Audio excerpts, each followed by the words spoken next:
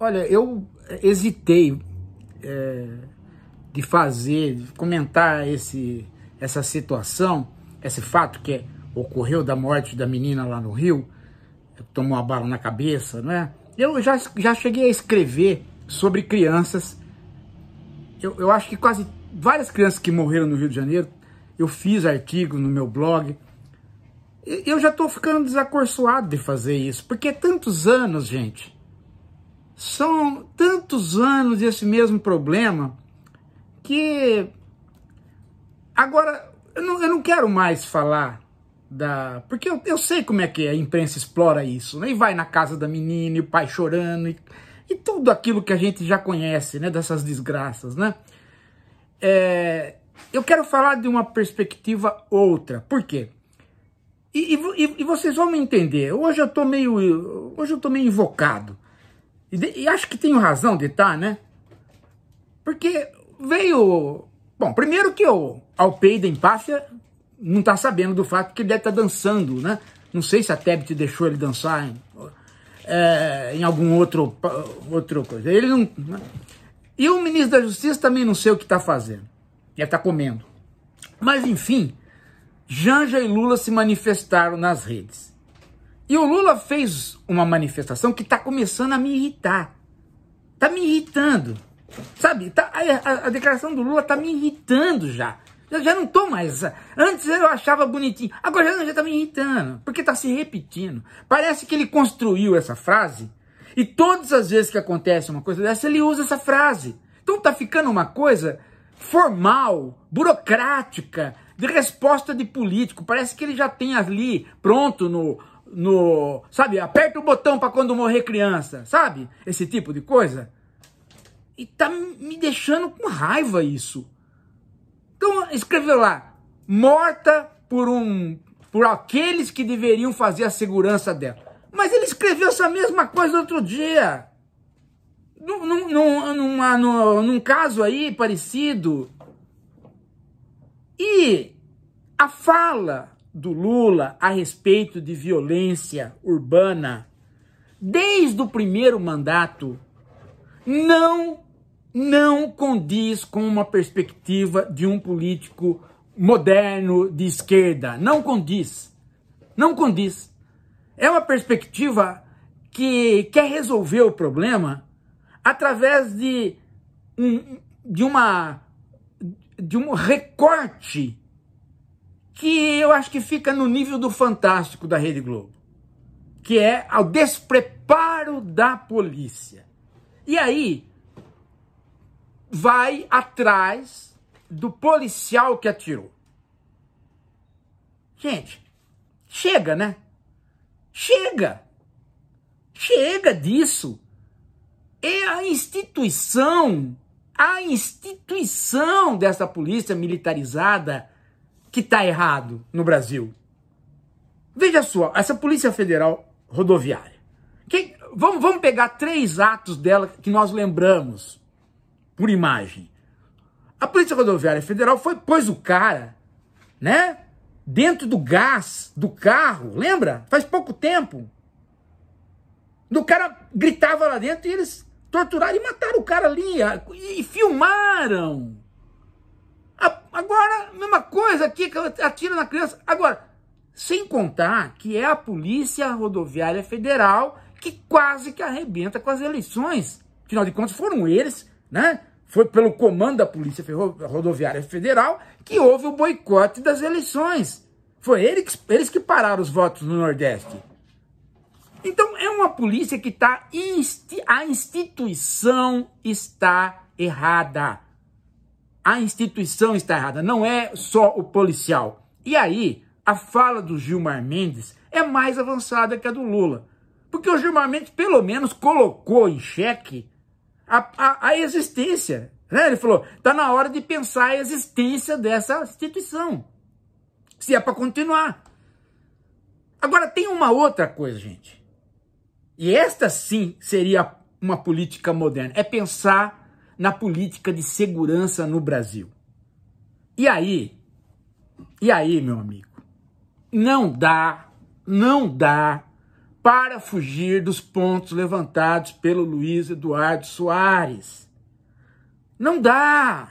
Por quê? Porque ele já estudou o assunto, porque ele já foi secretário de segurança, porque ele tem uma vasta experiência, porque ele já lidou com isso de perto, porque ele vive 24 horas por dia o problema e é um pensador do problema.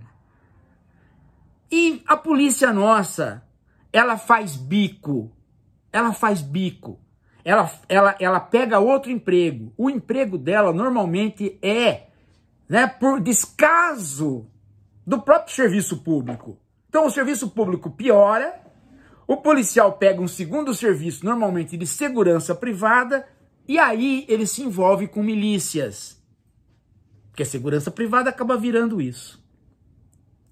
Bem, esse é um detalhe.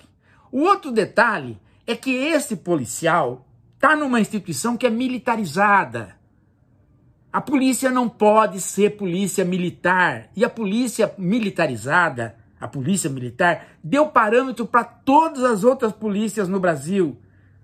Então não adianta criar polícia nova porque ela fica com o mesmo parâmetro da polícia militar, que por sua vez foi militarizada no chamado regime militar. Então, primeira coisa, gente, é pensar o porquê é que no Brasil nós estamos com uma polícia que não tem uma formação própria de polícia cidadã. Por que, que a polícia tem que ser militarizada? Ela, o militar combate o inimigo, o inimigo externo. Agora, se você tem uma polícia militarizada, ela tende a tomar a população nos mesmos termos do militar. Então ela toma a população como inimigo interno. E quem se acha? Quem vocês acham que vai ser o inimigo interno na falta do comunista? Hã? O preto pobre, claro. Aí, meu amigo, não funciona. Não funciona.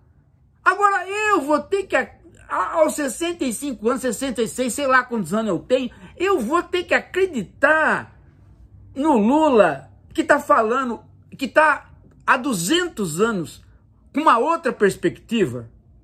Teve uma época no Rio de Janeiro, no primeiro mandato dele, que andaram metralhando um monte de prédio no Rio de Janeiro.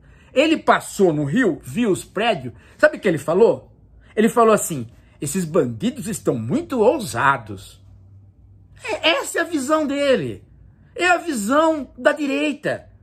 Sabe? É a visão da direita. Não é uma visão de, de, de, de, de reforma da perspectiva de segurança no Brasil. Tem que desmilitarizar a polícia, toda ela, toda ela. Tem que criar uma instituição de formação de policial cidadão. Tem que mudar isso. Mas, mas, não adianta mudar a polícia se a instituição maior que lida com armas continuar a mesma, que são os próprios militares. Então tem que mudar a formação das Forças Armadas. E está na hora de fazer isso, porque os militares estão na baixa, não estão apitando nada. É a primeira vez que a população inteira não acredita mais neles. Então é a hora de chegar para eles e falar: olha, nós vamos transformar vocês em homens. É, exatamente. Chegar para eles, para os militares, falar assim: nós vamos transformar vocês em, em pessoas os homens vão ser homens, as mulheres vão ser mulher. Já pensou? Que legal, né? E aí, botar a escola deles dentro da LDB. Botar o curso superior deles com bibliografia de gente e não corrigida pelo Olavo de Carvalho. E parar com esse negócio né, de militar entrar na política. Então, isso em relação às Forças Armadas. Agora, em relação à polícia, veja, Tá todo mundo sabendo que nos bairros pobres, igreja evangélica, milícia e tráfico formaram um triunvirato, onde Jesus é apresentado como um cara de extrema direita, ligado a Deus do Velho Testamento. E a justiça é feita ali por essas três instituições onde o Estado não entra. Então tá todo mundo sabendo disso. Então, tem que romper com isso. Agora, o que nós estamos assistindo é que um monte de policial de farda orando no quartel através de pastores de igreja evangélica que prometem para as famílias o quê? Ah, leva seu marido na igreja porque aí ele não vai trair você e não vai beber. Aí a mulherada leva esses panacas para a igreja para eles ficarem fora, longe do álcool e longe da, de, de, de outras mulheres. Eles ficam longe do quê? Eles ficam longe da função deles, porque fica todos eles doutrinados por pastores analfabetos, gerenciados por coronéis burros e um sistema inteiro corrupto e militarizado, tomando a população como inimiga. Gente, vocês não viram o que, o que aconteceu no cursinho? No cursinho. Cursinho para entrar na polícia.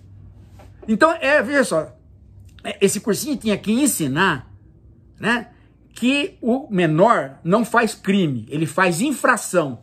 Aí, para eles mostrarem isso para os futuros policiais, eles desenharam um menino negro com arma na mão, dizendo: Nós não faz crime, nós faz infração. Caramba, essa é a piada pronta.